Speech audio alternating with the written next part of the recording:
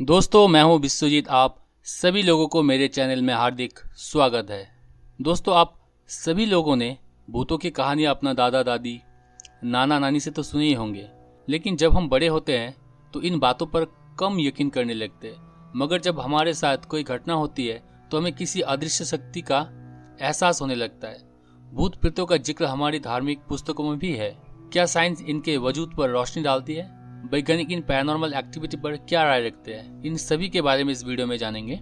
उससे पहले मैं आप सभी लोगों से एक रिक्वेस्ट करना चाहूँगा प्लीज़ मेरे चैनल को सब्सक्राइब लाइक और शेयर कर दीजिएगा अगर वीडियो अच्छा लगता है। तो चलिए शुरू करते हैं। भूतों का विषय बेहद रोमांचक और डरावना रहा है। हर कोई इनके बारे में जानने की दिलचस्पी रखता है। भारत ही नहीं, पूरी दुनिया में भूतों को लेकर कई तरह की बातें सामने आती है। यहाँ तक कि इन विषय पर बॉलीवुड, हॉलीवुड समेत दुनिया भर में कई फ़िल्म बन चुकी है। आइए जानने की कोशिश करें कि क्या सच में भूत होते भी है। भूतों का साइंटिफिक रूप से एवेल्युएट करने में एक कठिनाई ये है कि सरप्राइजिंगली बहुत प्रकार की घटनाओं के लिए भूतों को जिम्मेदार ठहराया जाता है। जैसे कि दरवाजे के अपने आप बंद होना, चाबियों का गुम हो जाना, अपने मृत रिश्तेदार को देखना। जब समाज शास्त्री डेनी सेंट माइकल वस्कुल ने अपनी 2016 की पुस्तक ghostly encounters the hauntings of everyday life के लिए भूत के अनुभवकर्ताओं का इंटरव्यू लिया। मतलब जो घोस्ट एक्सपीरियंसर का इंटरव्यू लिया तो उन्होंने पाया कि कई पार्टिसिपेंट्स को यकीन नहीं था कि उन्हें भूत का सामना करना पड़ा है और वो अनिश्चित बने रहे। मतलब कंफर्म नहीं थे कि इस तरह की घटनाएँ भी संभव थी। सिर्फ़ इसलिए कि उन्होंने ऐसा कुछ नहीं देखा जो भूत की कन्वेंशनल इमेज के साथ मैच करता हो। इसके बजाय कई पार्टिसिपेंट को बस यही विश्वास हो गया था कि उन्होंने कुछ अलौकिक अनुभव किया है। मतलब मिस्टीरियस असाधारण डेंजरस ये सब कुछ उन्होंने अनुभव किया। इस प्रकार बहुत से लोग जो भूतिया अनुभव होने का दावा करते हुए रिकॉर्ड पे जाते मतलब मीडिया पे या न्यूज़ पे आते या किसी बुक पे उन लोगों के एक्सपीरियंस को लिखा जाता है, उन्हें ज़रूरी नहीं कि कुछ भी दिखाई दे जो कि ज़्यादातर लोग एक क्लासिक भूत के रूप में पहचानेंगे।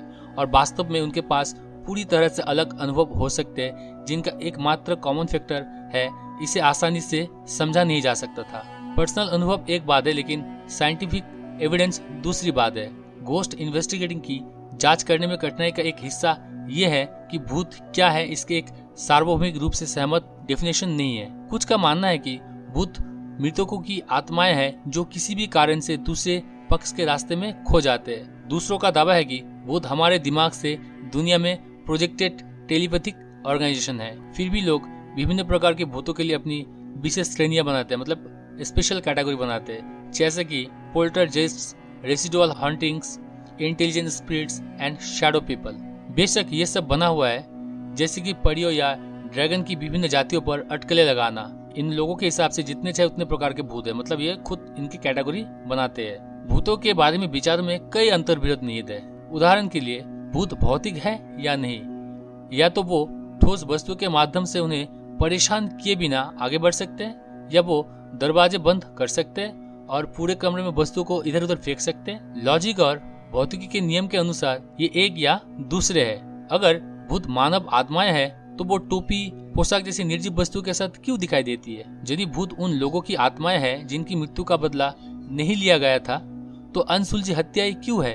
क्योंकि भूतों को मानसिक माध्यम से संवाद करने के लिए कहा जाता है और उन्हें पुलिस के लिए अपने हथियारों को पहचान करने में सक्षम होना चाहिए। सवाल चलते रहेंगे। भूतों के बारे में, किसी भी दावे के बारे में डाउट करने के लिए लॉजिकल रीजन उठते रहते हैं और ये उठते भी रहेंगे। घोस्ट हंटर आत्माओं की उपस्थिति का पता लगाने के लिए कई क्रिएटिव और डुबियस तरीकों का यूज़ करते हैं। अक्सर मनोविज्ञान को भी इस पे जोड़ा जाता है। वर्चुअली सभी घोस्ट हंटर्स साइंटिफिक होने का दावा करते हैं और अधिकांश ऐसा इसलिए दावा करते हैं क्योंकि वो high tech scientific equipment use करते हैं। जैसे कि Geiger counters electromagnetic field detectors ion detectors infrared cameras और सेंसिटिव माइक्रोफोन्स फिर भी इस इक्विपमेंट में से कोई भी रियल में भूतों का पता लगाने के लिए सक्षम नहीं हुआ है। सदियों से लोगों का मानना था कि भूतों की प्रेजेंस में आग की लपेट नीली हो जाती है।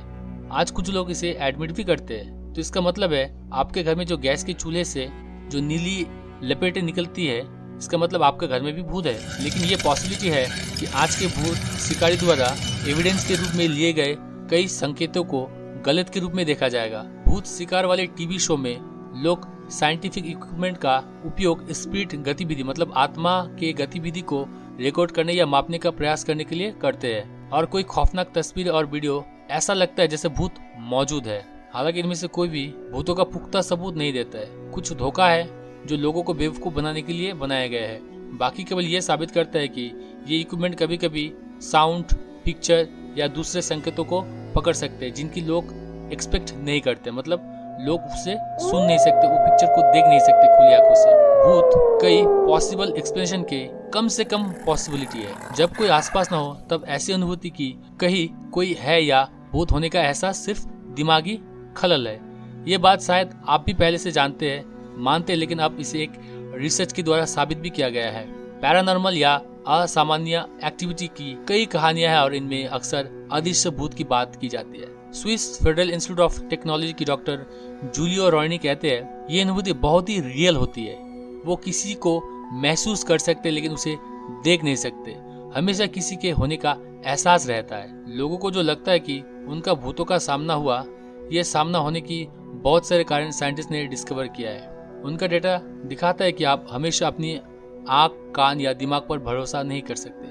चलिए कुछ एग्ज़ाम्पल लेते हैं। स्लीप पैरालिसिस एक ऐसी बीमारी है जिसमें व्यक्ति नींद में जागने, उठने और बोलने में असमर्थ हो जाता है। वो इस स्थिति में काल्पनिक वस्तु को महसूस कर सकता है, किसी रूह को देख सकता है, उसे सुन सकता है। क्या आपने कभी अपने फ़ोन की गूंज महसूस की है? फिर ये पता लगाने के लिए जाँच की कि कोई संदेश तो नहीं है? क्या आपने किसी को आपका नाम पुकारते सुना है जब कोई नहीं था वहाँ पे। क्या आपने कभी किसी चेहरे या आकृति को अंधेरी छाया में देखा है? डेविड स्मेल्स, जो कि साइकोलॉजिस्ट है, वो कहते हैं इन गलत फहमियों को मतिभ्रम या हेलोजिनेशन के रूप में भी गिना जाता है। वो सोचते हैं कि लगभग सभी के पास ऐसा अनुभव होते हैं। हम में से ज़्यादातर लोग उन्हें अनदेखा करते हैं, लेकिन कुछ लोग इसे भूत समझ लेते हैं। ये व्यापक रूप से दावा किया जाता है कि अल्बर्ट आइंस्टाइन ने भूतों की मौजूदगी पर आधुनिक फिजिक्स के एक थ्योरी दी थी जिसे थर्मोडाइनमिक्स का पहला नियम कहते हैं। इस नियम के मुताबिक ऊर्जा ना तो बनाई जा सकती है, ना ना डिस्ट्रॉय की जा सकती है। ये सिर्फ़ एक रूप से दूसरे रूप पे बदल सकती है। ऐसे में सवाल ये उठता है तो हमारे मरने पर हमारे शरीर की ऊर्जा का क्या होता है? क्या वो किसी तरह भूत के रूप में प्रकट हो सकता है? ये एक उचित एजम्पन की तरह लगता है, जब तक आप बेसिक फिजिक्स के गहराई पे नहीं जाते। इसका उत्तर बहुत ही सरल है, बिल्कुल मिस्टीरियस नहीं है। तो चलिए इसे विस्तार से समझते हैं। प्रोफेसर ब्रेन कॉक्स कहते हैं, Ghosts are impossible since they break the laws of thermodynamics. Thermodynamics के चार लॉ हैं zero law first law second law और थर्ड लॉ ज़ीरो लॉ ये बताते हैं कि जब दो सिस्टम किसी तीसरे सिस्टम के साथ उष्मीय साम्य में हो मतलब थर्मल इक्विलिब्रियम में हो तो वो दोनों सिस्टम आपस में एक दूसरे के साथ थर्मल इक्विलिब्रियम में होंगे। सेकेंड लॉ कहता है, एनर्जी अधिक एनर्जी वाले क्षेत्र से कम एनर्जी वाली क्षेत्र की ओर ट्रांसफ़र होती रहेगी, जब तक दोनों के बीच का जो टेम्परेचर है वो इक्वल होना जाए। उसी दौरान एनर्जी की कुछ मात्रा हीट के रूप में बदल कर परिवेश में मिल जाते हैं। इस प्रकार कोई भी सिस्टम ऑर्डर्ड दशा से डिसऑर्डर दशा में डायरेक्ट होती है। इसे इस डिसऑर्डर दशा को एंट्रोपी कहते हैं। थर्ड लो कहता है कि आप एक एब्सोल्यूट ज़ीरो तक पहुँच ही नहीं सकते। अगर भूत ऊर्जा से बने होते तो वो थर्मोडाइनेमिक्स के दूसरे नियम के कारण ऊर्जा खो देते। इसलिए किसी भी सिग्निफिकेंट पीरियड ऑफ़ टाइम के लिए अपनी संरचना और ऑर्डर को बनाए रखना उनके लिए असंभव होगा। अगर भूत दुनिया के साथ बातचीत कर रहे थे तो वो खुद को या दूसरे वस्तु को आगे बढ़ा रहे होंगे और शायद प्रकाश या धनी उत्सर्जित कर रहे होंगे। इसलिए पहले और दूसरे नियम के कारण वो अस्तित्व से बाहर हो जाएँगे। हॉन्टेड हाउस को भूतिया माना जाता है, लेकिन ये असंभव है क्योंकि भूत ऊर्जा खो देगा और अस्तित्व से गायब हो जाएगा। भूत प्रेत को संभव बनाने का एकमात्र तरीका ये होगा कि वो अपने अस्तित्व को बनाए रखने के लिए इन्वायरमेंट से एनर्जी प्राप्त करें। ये थोड़ा आपको कंफ्यूजिंग लग रहा है। ये आपको बाकी एक्सप्लेनेशन में क्लियर हो जाएगा। एंट्रोपी भूत की विरुद्ध है। मैंने आपको बताया कि एंट्रोपी किसे कहा जाता है। एंट्रोपी भूतों की विरुद्ध है। यदि ऊर्जा को अंदर डाला जाता है तो एक प्रणाली अधिक व्यवस्थित नहीं होगी। इसे वास्तव में अधिक व्यवस्थित होने के लिए ऊर्जा खर्च करने की आवश्यकता होती है। अदरवाइज़ ये स्वाभाविक रूप से डिसऑर्डर का पालन करेगी। उदाहरण के लिए, एक कमरा तब तक गंदा हो जाएगा जब तक कि कोई उसे साफ़ करने में प्रयास करके ऊर्जा खर्च ना करे। सो पदार्थ या ऊर्जा के स्पॉन्टेनियस ऑर्गेनाइजेशन के लिए अदरवाइज़ निराकार भूत बनाने के लिए एनर्जी खर्च करने की आवश्यकता होगी। भूत यदि वो अस्तित्व में है तो ऊर्जा से बने होंगे। फिर उन्हें प्रकट होने के लिए ऊर्जा खर्च करनी होगी। इसलिए वो फिर से लंबे समय तक नहीं रहेंगे। लेकिन पहली बार में ऊर्जा कहाँ से आती है? थर्मोडाइनमिक्स का पहला नियम कहता है कि ऊर्जा का निर्माण नहीं किया जा सकता है। ये केवल अपने रूप बदल सकती है। फिर से भूत को ऊर्जा के स्रोत का आवश्यकता होगी, जिसका अर्थ है कि इसे कहीं और से लेना। अगर ये कहीं और से लेगा तो ये डिटेक्टेबल होना चाहिए। फिर पता लगना चाहिए कि ये सोर्स कहाँ है। लेकिन ये आज तक प्रूफ नहीं हुआ है। ऊर्जा के संरक्षण का सिद्धांत और ये तथ्य की एंट्रोपी हमेशा बढ़ती है, ये इतने फंडामेंटल है कि इसे अगर आप नकारना चाहे तो इसके लिए आपको ठोस सबूत की आवश्यकता होगी। भूत भौतिक दुनिया की वैज्ञानिक समझ के अनुरूप नहीं है, जैसे वो केवल काल्पनिक रूप में ही मौजूद है। चलिए एक इंटरेस्टिंग तरीकों के बारे में बात करते हैं। जिस तरीके से लोग आत्माओं से बात करते हैं, वो तरीका है वेजी बोर्ड आपने इसे बहुत सारे मूवी में देखे होंगे। इस बोर्ड पे कुछ अल्फ़ाबेट और नंबर लिखे होते हैं और येस और नो भी लिखे होते हैं। जब किसी को आत्माओं से बात करनी हो तो वो अंधेरे में जाते हैं और कुछ मोमबत्तियाँ जलाते हैं और आँखें बंद कर लेते हैं। उसके बाद उस बोर्ड के एक ट्रायंगुलर सा शेप होते हैं, इसे प्लेंचेट कहते हैं। इसके ऊपर हाथ रखना होता है। उसके बाद आत्मा से सवाल करना होता है। अगर आत्मा जवाब देती है तो हाथ अपने आप यस और नो के ऊपर जाएँगे।